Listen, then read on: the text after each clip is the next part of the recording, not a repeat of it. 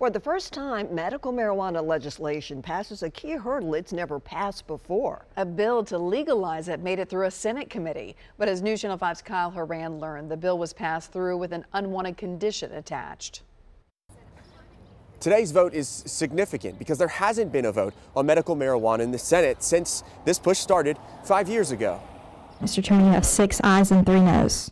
That was the final vote of the medical marijuana bill in a Senate committee today. The bill would legalize medical marijuana in the form of oils, tinctures, and creams, but only to people with certain diagnosed conditions. It passed through, something that's never happened before in the Senate, but it only passed with conditions conditions that may defeat the entire purpose of the bill to bring medical marijuana to the people who say they need it in Tennessee. At the last minute, Senator Bo Watson, Hixson Republican, suggested an amendment that would only allow medical marijuana to be legalized if the federal government reduces its classification from a Schedule 1 substance to a Schedule 2 substance.